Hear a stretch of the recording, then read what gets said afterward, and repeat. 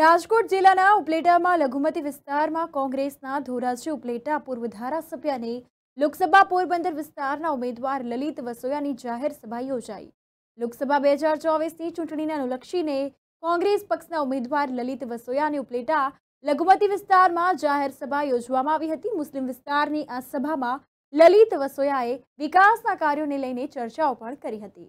ધોરાજી ઉપલેટામાં ધારાસભ્ય રહી ચૂકેલા અને તેમના કાર્યકાળ દરમિયાન તેઓને પૂરતી ગ્રાન્ટ પૂરેપૂરી વાપરવામાં આવી છે અને અંતર્ગત પોતાને મળતા પગારમાંથી તેઓ ગરીબો માટે વિનામૂલ્યે નિદાન કેમ્પો પણ કરેલા છે.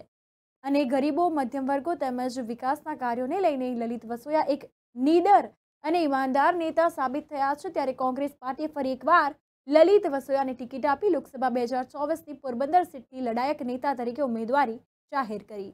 હાલ તમામ વિસ્તારમાં પ્રચાર શરૂ કરાયો છે.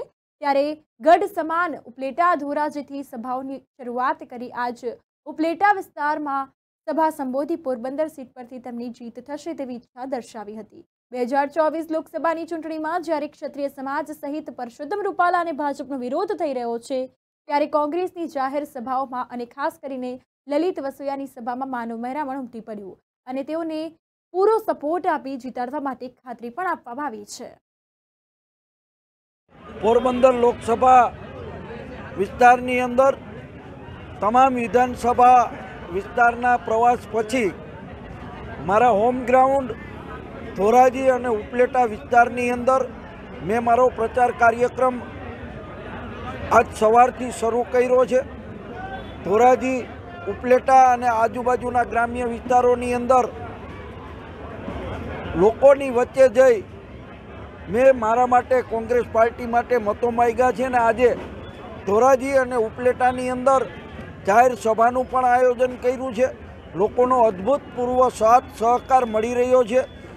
કોંગ્રેસના કાર્યકર્તાઓ ઉત્સાહભેર આખાએ પોરબંદર લોકસભા મત વિસ્તારની અંદર પાર્ટીને જીતાડવા માટે તનતોડ મહેનત કરી રહ્યા છે.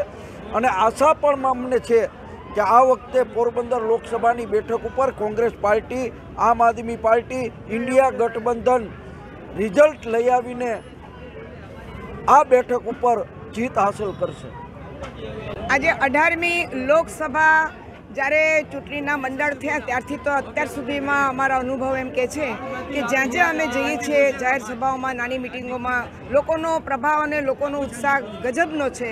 અને ભારતીય જનતા પાર્ટીને આપણે ત્રણસો ત્રણ સીટો આપી રાષ્ટ્રમાં દસ વર્ષનું શાસન, કેન્દ્રમાં અને નીચે ઓગણત્રીસ વર્ષનું શાસન છતાં આજે લોકોની કલ્યાણ કરી જે કંઈ ભાવના હોવી જોઈએ એમના માટે કરીને, જે કંઈ એમના માટે યોજનાઓ હોવી જોઈએ એનો કોઈ લાભ નથી મળતો.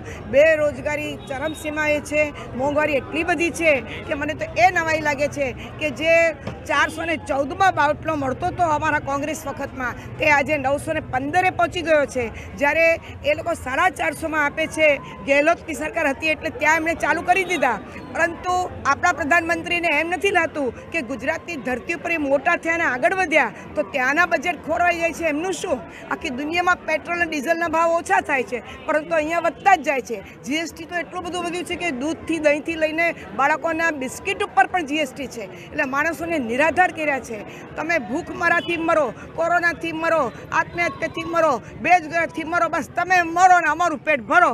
આવું અમને દેખાય છે. એટલે મને લાગે છે કે હવે પરિવર્તન કર્યા સિવાય છૂટકો નથી. આ હિન્દુસ્તાન જે છે ને, એને આપણે કબ્રસ્તાન કે રેગિસ્તાન નહીં, ગુલિસ્તાન બનાવવા માટે પરિવર્તન લાવો. જય કોંગ્રેસ, જય ભારત. સહયોગ છે. હું તમારા સૌનો આભાર પણ માનું છું.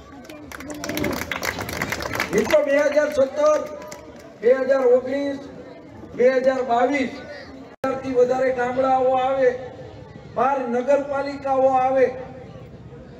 એટલે તમારી વચ્ચે આવવાનો છેલ્લા દિવસોની અંદર કાર્યક્રમ રાખ્યો. મારે બીજી રાજકીય વાત નથી. મિત્રો, ઘણી બધી વાતો કરી. બે હજાર સત્તર માં गुलाब गुलाम बापू उपस्थित दाया भाई मंच पर विराजमान सभी आदरणीय हमारे हिंदू मुस्लिम भाइयों को તેમાં પધારેલા સૈન્યદેવ બાબી બીજા અન્ય ના પ્રમુખ કૃષ્ણકાંતભાઈ ચોટાઈ એવા જ લાખાભાઈ ડાંગર એવા જ ટીમો ખાસ કરીને ટીવી મીડિયા અને સટ્ટા બજાર આ સર્વેમાન કહેતા હતા ત્રણસો સાઠ સિત્તેર બેઠકો ભાજપ મેળવી જશે અને ભાજપ સત્તા સૌ કોંગ્રેસના આગેવાનો ખાસ કરીને મારે તમને બે વાત જ કહેવાની છે. સૌ જેમની કામગીરીથી વાકેફ છીએ તેવા લલિતભાઈ વસોયા શહેનાજબેન ભાભી અફજલ સાહેબ સીડા સાહેબ. લડવા ખાતર લડવાની છે એવો માહોલ ભાજપે ઊભો કરી દીધો હતો. સમય અને સંજોગો એક માહોલ ઊભો કરવાનો પ્રયત્ન કર્યો. એવા જ સમયે આપણા ઉમેદવાર લલિતભાઈનું નામ પણ પક્ષે નક્કી કર્યું.